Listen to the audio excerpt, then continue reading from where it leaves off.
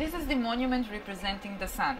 It was erected here in 1994 and in year 2004 the planets were added in scale and they are scattered all around town representing the Zagreb solar system. Let's find them.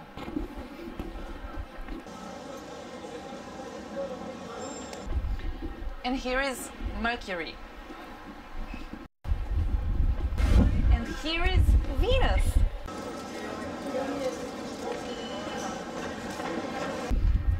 And here is Mars. This is our planet Earth. We find four of them in the city center, and for the rest of them, you will have to look around the city, and you can find them all in Zagreb in your pocket.